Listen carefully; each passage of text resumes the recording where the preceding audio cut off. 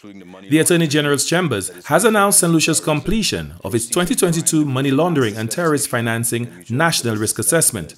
The National Risk Assessment forms a critical part of St. Lucia's effective application of its risk-based program.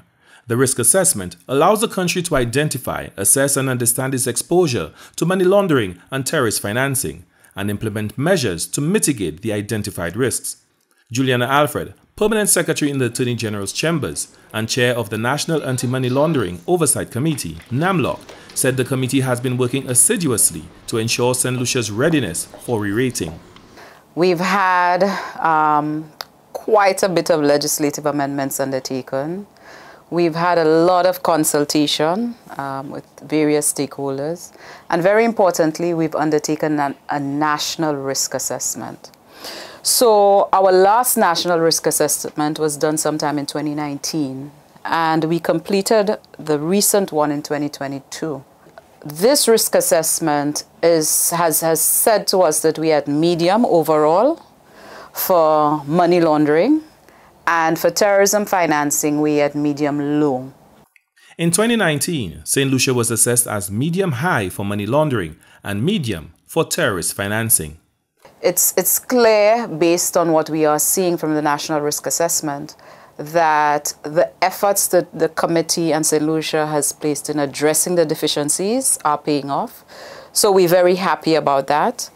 Um, in addition to the legislative amendments, we've been working with the stakeholders so that they understand what the risks are in terms of FATF's requirements and ensuring that they have their compliance measures in place to address these risk measures. Attorney General Leslie Mondesir indicated that the government has passed a suite of legislative amendments, including money laundering legislation, anti-terrorism, proceeds of crime, virtual assets legislation, and the mutual legal assistance legislation. Well, I think the, the government so far is satisfied with the work of the National uh, Anti-Money Laundering Committee. Um, I've been briefing Cabinet as to the progress, and so far we are satisfied with the progress of the committee so far.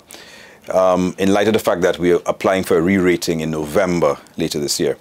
The completion of St. Lucia's risk assessment was a collaborative approach, engaging key stakeholders from both the private and public sectors, including the Financial Intelligence Authority, Customs and Excise, the Royal St. Lucia Police Force, Office of the Director of Public Prosecutions, the Inland Revenue Department, and the Financial Services Regulatory Authority, and the Eastern Caribbean Central Bank. It is going to form a critical part of our re-rating process in November. In fact, I'm happy to report that St. Lucia is applying for 22 recommendations that were partially compliant or non-compliant. And I'm not in a position to say what the changes will be, but I can safely say that we are very happy with the feedback that we are receiving in terms of the work St. Lucia has undertaken.